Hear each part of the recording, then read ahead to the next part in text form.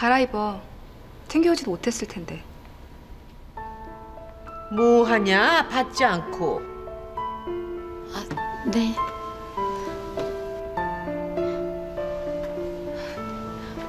고마워.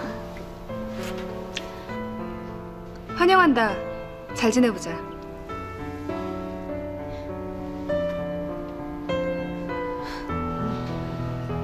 그래. 잘 지내보자. 고맙다.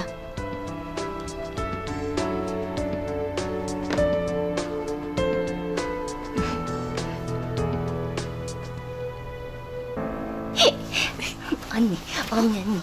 아빠가 있지. 이 침대도 사주고, 어, 이불도 사주고, 우와. 어, 옷도 사주고, 저 시계도 사주고, 저 펜연필도 사주고, 또 어, 핀도 사주고, 또 어, 스티커도 사주고, 또 공책도 사주고, 또 동화책도 사줬다.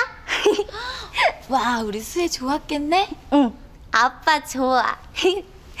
어, 할머니는 어, 이, 요만큼 좋아.